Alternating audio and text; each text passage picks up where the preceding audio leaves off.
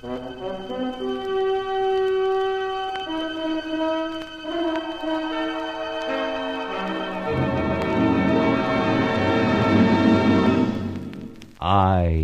have been here. The Grey Goose Adventures of a Modern Robin Hood.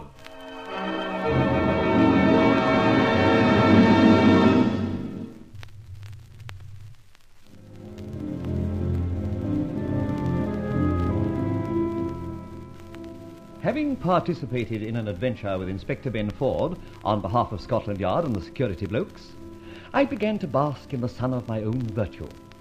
And quite suddenly, I woke up from this complacency to wonder a little whether the grey goose had slipped somewhere. With this idea in mind, I wasn't too comfortable when my warning buzzer went, and then the chimes at my front door. I opened the door to confront Chief Inspector Ben Ford himself. Can I come in, Fletcher? Oh, I see you're all dressed up. Going somewhere? Yes, Mrs. Deanwall's crush at Berkeley Square. You know, Ben, these calls from a prominent Scotland Yard official give a sort of uh, cachet to my humble flat. Everybody says that man Fletcher's a big noise. Even Scotland Yard calls on him for advice. Commissioners, chief inspectors, MI5, foreign officials. All and- right, all right, all right. My hat, I wish I had your sense of humour. but you have been. You'd be surprised how many times you've handed me a good laugh. Strange you should say that. Strange? Why? Well, um, sometimes I've wondered whether you were pulling my leg. My dear Ben, uh, Inspector, have a drink. You're not quite yourself. Surely you can't mean that. I do? No, I won't have a drink. I'm on duty for one thing. What duty? Lady Formerly's jewels. Jewels? Yes, Lady Formerly's jewels. They were stolen last night, eight thousand pounds worth. Were you at Lady F's place? I hate to admit it, but I was. Then perhaps you can tell me some of the details. Unfortunately, although I was among those present, I didn't hear much of the ruckus. Left early. Oh, bored to tears. Oh, dreadful show, I believe. However, let me get back to where I intended to start. And where was that? Well, we recently had a little experience together at a place called Crane Crescent. Only too true. Ooh, my bones ache at the recollection. So do mine. but a thought has entered my mind. The grey goose insinuated himself into that adventure. Much to our mutual benefit, then. Oh, definitely. But how did he know things that only you and I knew? How the deuce could he know that that awful character Arpescu had nailed you and me to a wall? How did he open a safe and leave one of his confounded feathers inside? Echo answers? How? Exactly. Fletcher, when that croaking voice rang me up last, he said he knew you very well. Did he really? Yes. But he also said you'd not be able to point him out. Yes, that's the whole point, Ben. This grey goose chappie knows me. He knows you. In fact, he knows a lot of people we know. Our trouble is we don't know him. Well, the Grey Goose may be a man we even meet at our club. A man we rub shoulders with anywhere and everywhere. Why? He could be you. Uh, what? I said he might even be you. I apparently heard you the first time. But why make such a shattering statement? Don't let my ideas scare you. I say, and I think time will show, that our friend the Grey Goose is someone we know. Now, suppose it or he were you. Don't say things like that twice. Could you, as an ordinary citizen, account for all and every hour of your time?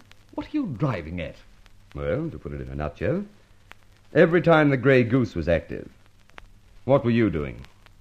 Good gracious. I get you, Ben. Huh. Couldn't produce an alibi for a thousand pounds. Exactly. So you could be the Grey Goose. Uh, uh, yes. But wait on, Ben. When the grey goose was active, I think you said. Yes? What were you doing? And incidentally, where were you? Uh, don't answer that question. Yes, yes, I see what you're getting at. Yes. Well, I'm going to make a check-up of all the young blokes you and I know who might allow adventure and a certain amount of unscrupulousness to walk hand in hand. Oh, how sweet, Ben. I like that hand-in-hand touch. Oh, shut up. You know what I mean. Definitely. All right. Consider yourself warned. And you can tell any of the others who, goslings out to date, might aspire to become grey geese. All right? I'll see you later. Cheerio. Well, I'm dashed. What's Ben driving at? Surely I haven't dropped a brick anywhere recently. Hmm, I'd better get rid of those formerly jewels, though. I think a little consultation with Barbara might help matters at this juncture. You in, Barbara? Yes. Well, work the old bookcase and come in. What's on, Rowley? You sounded a little put out. Oh, no, not a bit. But old Ben Ford has stuck his nose out a good deal lately, and is, I believe, slightly on the scent. Somehow I've got to put him off before that same nose leads him direct to me. Is he as close as that? No, no, I, I don't think so. In fact, I'm certain he's not. But he's as wily as a fox is our Ben. Now, we've got those formerly jewels here, and just in case of accidents, I'm going to get rid of them at once. All right. How do you set about it? I thought of a way. You shall dress up again, double for me, wear the very natty dress suit and all the trimmings. don't forget to put on the moustache. I've never forgotten any of the details so far. Good girl. Now, here's an invitation to Mrs. Dean Deanwall's do in Berkeley Square, a huge mausoleum of place. Hundreds of dithering dudes and desperate damsels. Oh, with whom do I dance? A dude or a damsel? you don't dance with anyone. You present your card, walk through the rooms, turn round, come out, get into your car, then drive back here. Not to your entrance, but to this flat, mine. Take off your top hat, throw it across the room, help yourself to a whiskey, and smoke one of my cigars. Good heavens. Sorry, but yes. In fact, you make anyone who's on the lookout think I've been and gone and returned. Meantime, you're somewhere else. Exactly.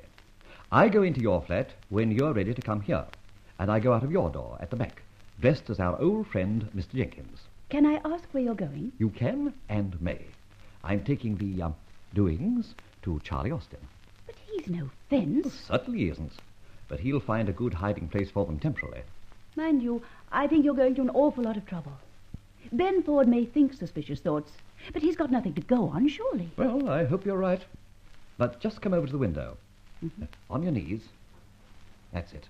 Now, just one eye in the corner and gaze down onto the street. What am I supposed to see? You're not supposed to see anything unusual. At the same time, there is something unusual there. In the doorway opposite. A man. Yes. A flatfoot, my dear. A cop. Watching for you? Yes, like an anxious mother waiting for her firstborn to return from school after his first day. Now I'm beginning to see. Good. When you change, you come in here.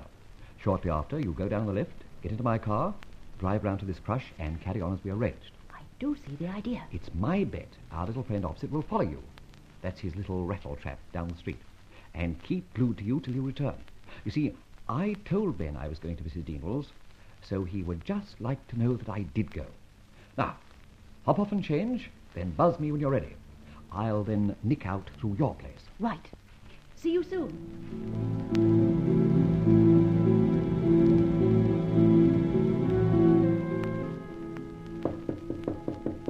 Shop's closed.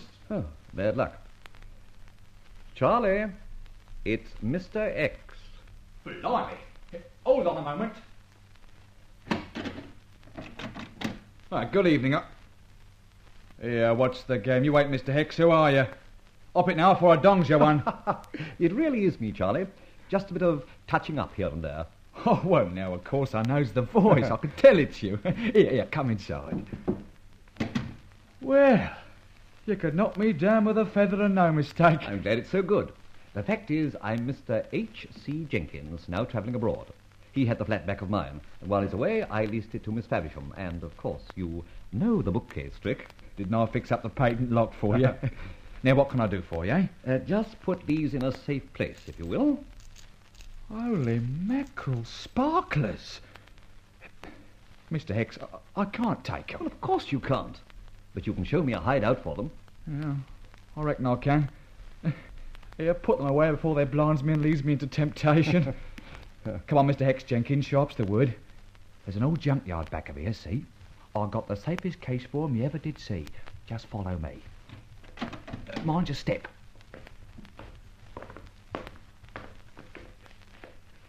You're sure the bloke who owns all this junk mightn't come across your hiding place sometime when he's cleaning up a bit? Of course he could, but it won't matter. But who is he? Me. Oh, Now stoop down here. yeah. Now, just here is a little wall safe, see? Me own invention. Eh, There you are. Now, in with them. Ah, good. Now you'd better vamoose. Yes, I think I will too. Out the back way, through that there gate into the alleyway. Right. See you again soon. Okay. Let me know when you want the sparklers.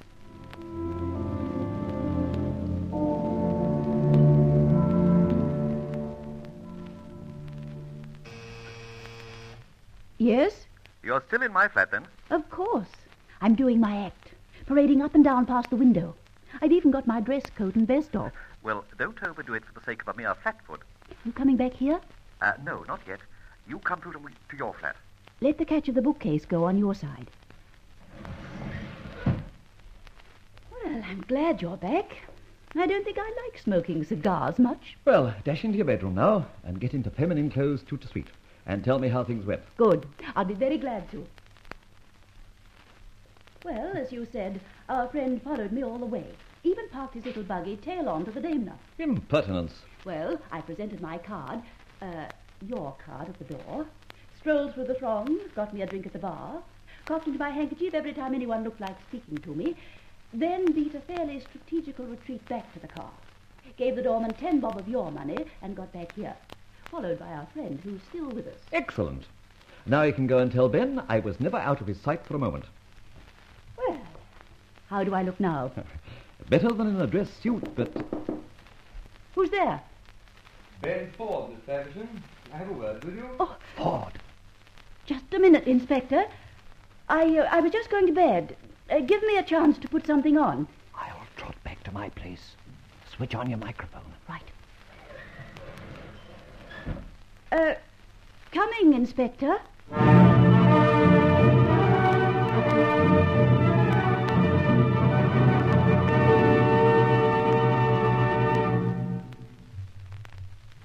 We did suggest that Rolland Fletcher had overplayed his hand. This may prove a tough problem for Fletcher, so listen to the further development of this adventure of The Grey Goose.